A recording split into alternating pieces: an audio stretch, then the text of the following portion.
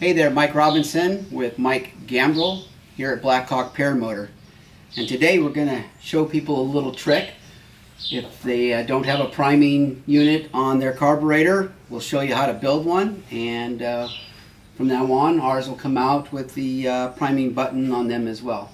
Right now we're using a little uh, zip tie and it works well, but this will make it even easier for you. So Mike, what do we got going here? Well, it's a simple process. You take the metering plate off this side of your carburetor. So it's just four screws to remove it. Carefully remove this plate. There is a diaphragm behind there. There's the diaphragm, so you can just set that off to the side. Now you should just have the metering plate. So the first thing that we're going to do is we need to go ahead and drill another hole in here so that we have ambient the outside air pressure for the metering diaphragm to work properly in case the rivet hole gets clogged up for any reason.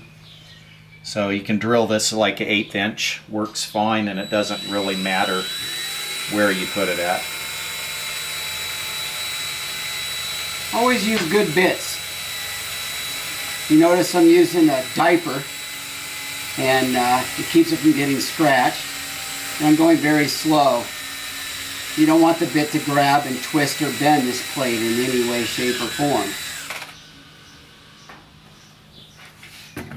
Make sure that none of this dust or metal metal material is anywhere around here. You have some burrs or something, you can clean them up with a file or use a Dremel. I've got my Dremel right here, so what I'll do is just go ahead and clean that up real quick.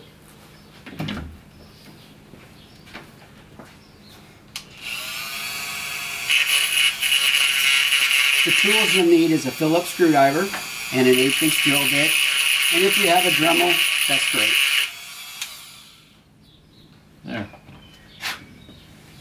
It's nice and cleaned up, ready to go. So next step is you're just going to take your rivet. This is an eighth inch diameter. The grip length on it is 5 eighths of an inch.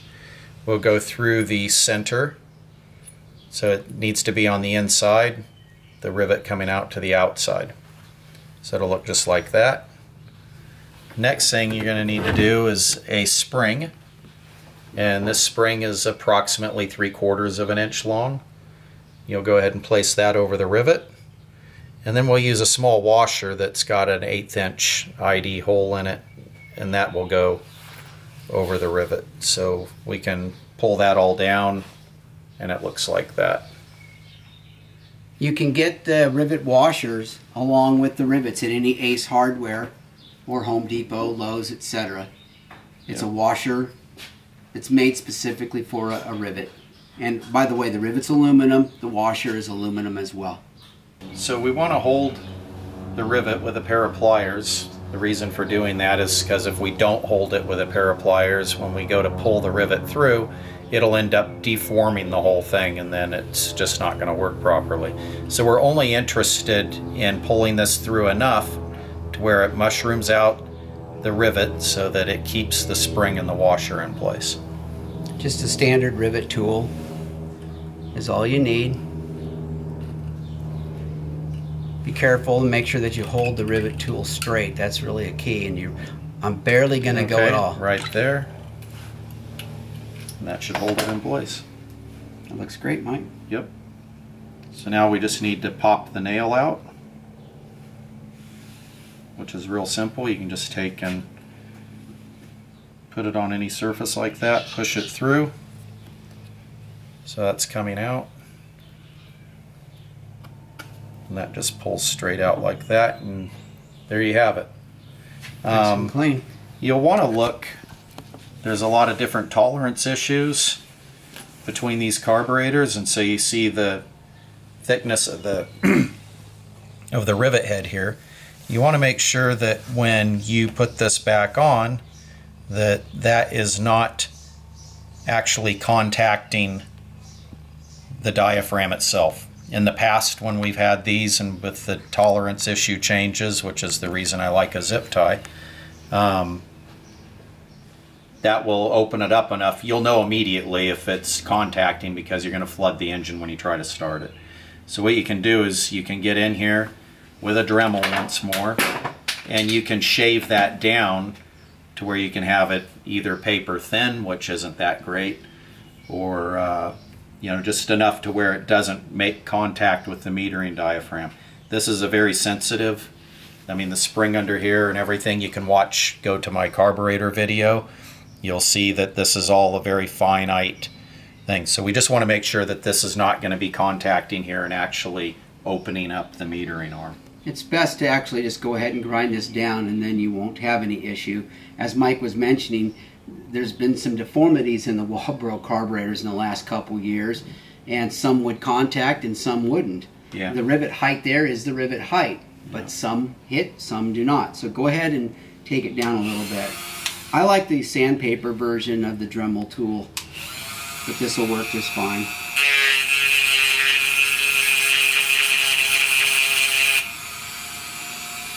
Basically all you have to do. Make sure that all the particles are gone, there's no rough edges or anything, and make sure that the button works good. It's Yep. perfect. Then just put it back on. Install the four screws. You don't need to put monstrous torque on these. You just snug them down. They are a small screw. And remember to just bottom out each one and then go around and tighten them. This is a very easy operation. It's very functional. It's something that you can do yourself on your paramotor. Obviously, we took the carburetor off. You don't have to do that. All you need to do is take the cover plate off. If you guys have any questions whatsoever, you know who to call. And uh, if you have any suggestions for more videos, please comment and let us know. There you have it. Yeah. All done. A little close up here, you can see the hole that we drilled. That, as Mike mentioned, balances the atmospheric pressure from inside the carburetor with that that we're breathing right now. It's a very important component. That's it. All good. All done. From Blackhawk Paramotor to you, another little tips and tricks. Thanks for Yeah. watching. Have a good one.